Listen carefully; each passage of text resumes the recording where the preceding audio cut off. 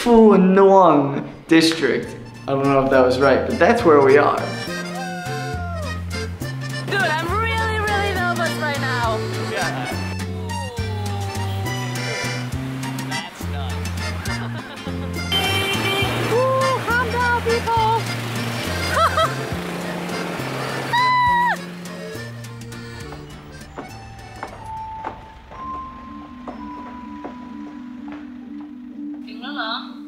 สวัสดีจ้า ถึงแล้วจ้า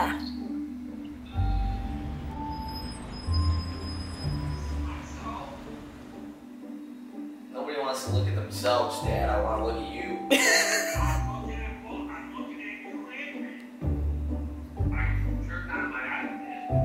Boo boo, why don't you put your clothes in the closet, in the real closet? Because my clothes are good wherever I put them, honey.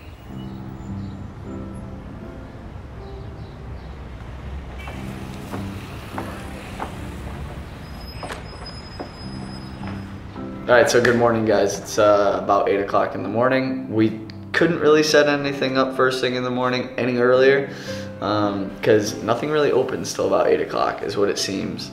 And we have amazing internet. It is literally the fastest internet I've ever had. All right, so first thing we have to do, of course, we have to get around. So we have to set up a motorbike. Now, when I texted the landlord when we weren't here in Vietnam, she said she wanted $150 a month, and I was just like, what?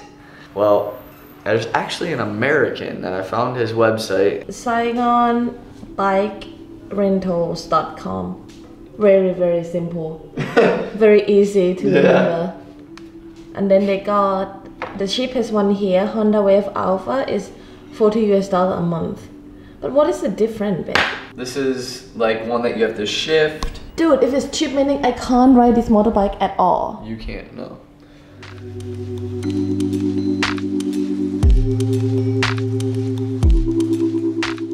And, it's actually it's it? an American owns it, yeah. I mean, he's like, yeah. Do you have an American passport, right? It's like, yeah, no problem. Forty dollars a month. okay. Dude, that's so cool. One problem solved. Everything's settled. We just got to do a couple more things. Get this motorbike at 11 o'clock when he drops it off, and then get a cell phone. That's the next thing. Is a cell the phone. SIM card. A SIM card. Not cell phone, we have cell phone. We don't Maybe both, because our cell phones are horrible. We are the type of person that we never, I don't think we ever, ever buy the SIM card at the airport. no, we try not to, because it's always twice as expensive. Yeah, we always, always use the Wi Fi at the airport to actually book Grab or Uber. Uber is not really available anymore in Southeast Asia. But the case like last night here in Ho Chi Minh City is not really practical because the Wi Fi it doesn't really work very well at the airport.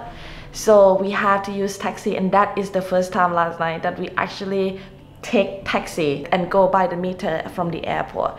But it doesn't take, it doesn't cost that bad. Um, actually, from what Jimmy researched, Grab supposed to cost about 45,000 Vietnamese dong to come to our apartment. The meter pop up at like what? 40 51 or 53. The taxi driver doesn't want to actually Some girl just pushed us in the cab. She's like, get in. She literally popped his trunk and started throwing our suitcases in the trunk without him even getting out of the cab yet. he had no choice. He Yeah. had to take us. yeah. That lady was a boss. She's a real boss. Yeah, boss. she was the boss. yeah, so we will take you the tour around with us our first day here in Ho Chi Minh City and you will see as well what you need to expect.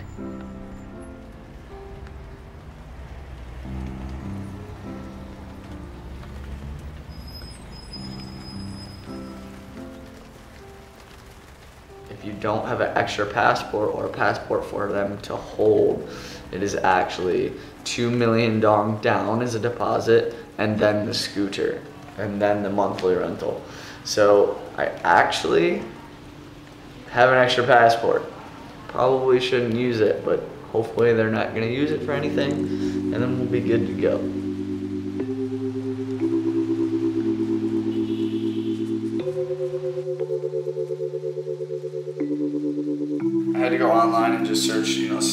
Shops, and then I had to pinpoint the location of each one that was closest to us, and And then I found this one, which is actually only two minutes walking distance.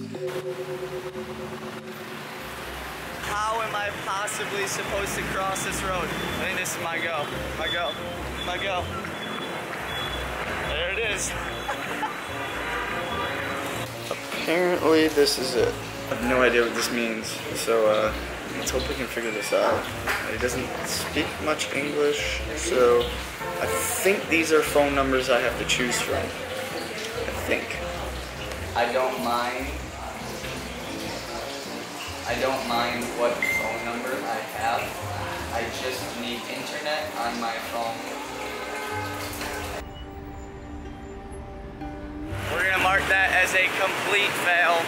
Uh, I played charades for like 45 minutes, but now my phone is in Vietnamese and I don't understand how to get it back and he didn't understand that he had to change it back. And so I think we have to go to like a major cell phone shop or a mall. This is like a baseball cap. This is so cute. Look at the camera real quick. Oh, they come with this as well? Yeah, That's so cool. I don't know if I trust it though.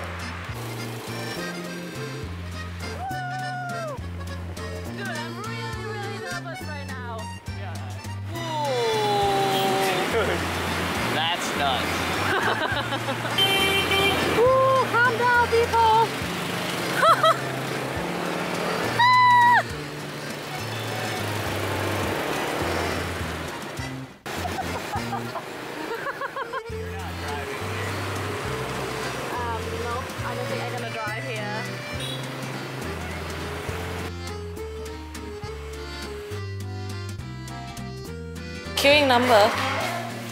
Got it? No Check can Oh, we- Lishi. Lishi. với số thứ tự 1 0 5 2 đến quầy số 3 What? Passport. And I actually got 12 gigabytes of data for 120,000 plus 60,000 for the SIM card. Very easy. She knew exactly what to do, and we were done. There are two main service provider. So you will see Mobifone and you will see Viettel. There will be like a bunch of people that sell. You will see like a small store that Jimmy went earlier that they sell like a phone, a SIM card. That one is not quite legal here in Vietnam. Okay, so And let I- me say something real Yeah, quick. Jump yeah. in. So when I was at the cell phone shop, Yeah. the guy actually had to call somebody that came in the store 10 minutes later with a backpack full of SIM cards. Yeah. So that completely makes sense that they're trying to cut it down. Because the cell phone shop I went to didn't have SIM cards. Had cell phones. They can't. And then a guy with a backpack showed up full of SIM cards. 2016 that they started to do it and they say it's about like national scam issue going on you have to come to really like an official store and now getting to like the reason why we pick Viettel is because when we look up and we do research on like the coverage of 4G you can see clearly that Viettel has more coverage than mobile phone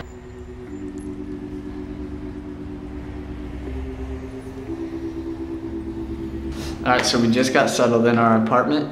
It's a brand new building that was just built in November 2018, I believe. Uh, there's like over 25 apartments. Each room comes with a smart card, which is beneficial for them. I can't leave my air conditioning. I can't leave my air conditioning on, so it's a little, but they're very smart. I mean, all electric, water, everything is included. Um, the beds are brand new. Everything is really brand new, including there's like a downstairs parking garage, and it's all gated by electric buttons. So you just hit the button or use your smart card.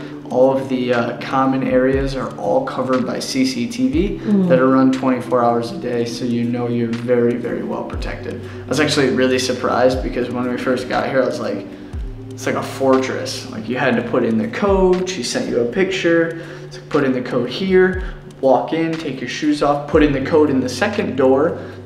Go inside, get your smart key, tap the smart key in the, in the elevator in order to go up to your floor, mm-hmm. and then unlock your door. So there's over three different key accesses accesses before you even get to your apartment door. Phu Nuong District. I don't know if that was right, but that's where we are super close to the airport, really convenient. It was only like two dollars to get from the airport to here, It's then- seven minutes away. Yeah, it's like seven minutes away, and there's a pho place right across the street.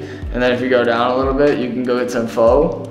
So if you're Vietnamese, you probably know what I'm talking about. You know what I'm saying? And there's Family Mart nearby. there's Family Mart. There's a park. There's Street pho. There's pho. There's Coffee shop. there's banh mi. There's a coffee shop. It's all right downstairs. Vegetable and chicken, even nuts. You want some nuts? Jim, you want some nuts?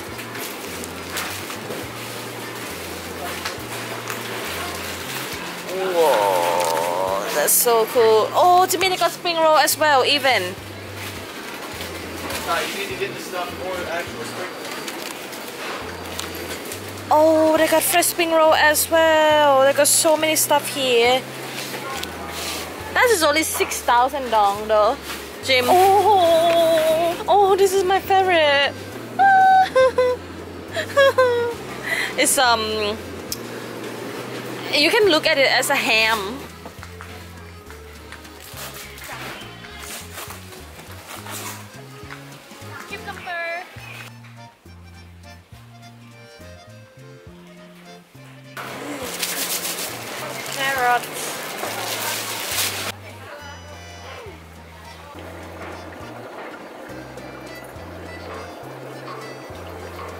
Wish us luck.